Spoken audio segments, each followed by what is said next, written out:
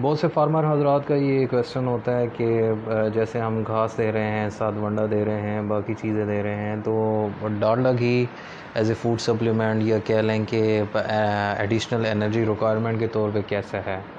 तो डालडा घी जो बेसिकली है, इसमें एनर्जी है और ये एनर्जी कंटेंट है, इसमें कोई और प्रोटीन कंटेंट वगैरह नहीं है या मिनरल्स कंटेंट नहीं है।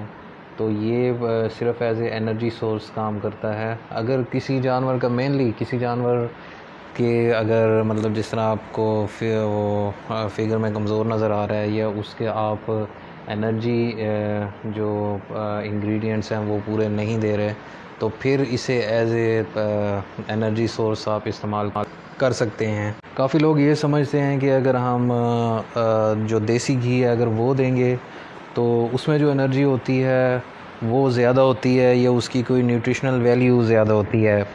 तो ये बात इंसानों की हद तक तो ठीक है, क्योंकि इंसानों का जो मैदा है, वो मानो ये इंसान, मानो गैस्ट्रिक एनिमल्स हैं तो सिंगल स्टोमिक होता है। तो ये पूरी न्यूट्रिशन उसमें से नहीं ले सकते। डालडा घी में से समझ लें आप तो देसी घी में तो वैसे ही काफ़ी न्यूट्रिशन होती है। उसमें एक्स्ट्रा वाइटामिन ए डी वगैरह होते हैं।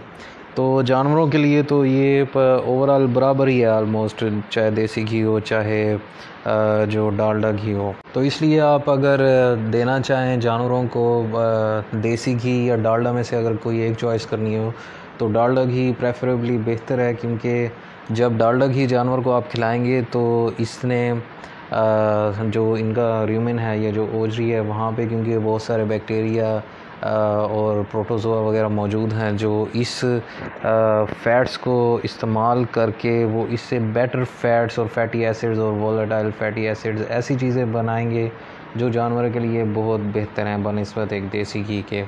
तो ओवरऑल आप डालडा घी जानवरों को दे सकते हैं। अब अगली बात है इसकी डोजेज की। मतलब आप कितना डालडा घी जानवर को दे सकते हैं?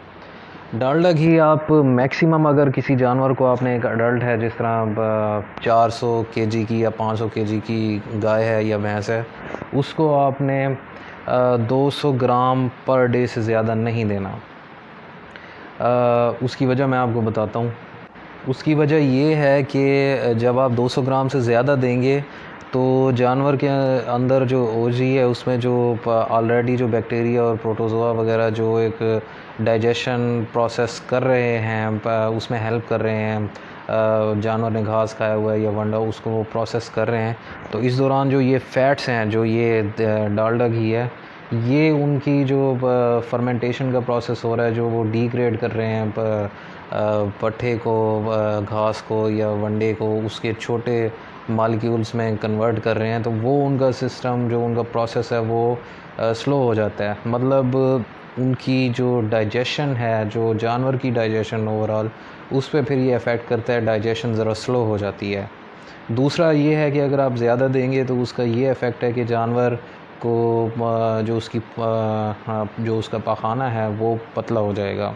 क्योंकि वो चिकनाई बहुत ज़्यादा करेगा और जानवर जो है एक्सेसिव फ़ैट जब उसमें ये जाएगी डालडा घी ज़्यादा जाएगा मोर देन हाफ़ के जी या मोर देन वन के जी तो वो पतला हो के वहाँ से निकल जाएगा और जानवर का डाइजेशन मुतासर होगा।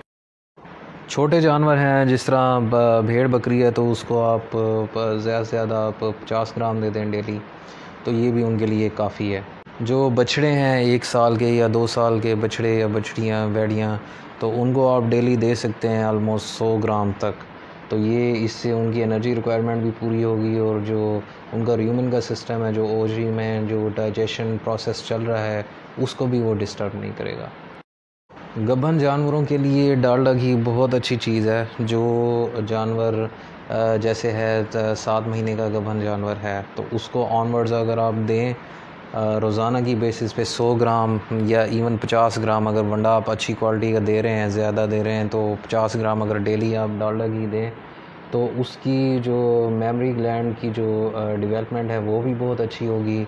उसका जब वो सू जाएगी तो उसका दूध भी ज़्यादा होगा प्लस जो उसके अंदर बछड़ा या बछड़ी परवरिश पा रहा है, उसकी भी सेहत अच्छी रहेगी। बकरों को आप रोज़ाना 50 से सौ ग्राम डेली दे दें जो ज़्यादा मिलाई कराते हैं बकरियों के साथ। और जो बैल है, बड़ा बैल है, उसको भी आप 200 ग्राम 250 ग्राम तक डेली दे सकते हैं। तो इससे उनकी जो मेंटेनेंस है, मेंटेनेंस की जो एनर्जी रिक्वायरमेंट है, वो भी पूरी रहेगी।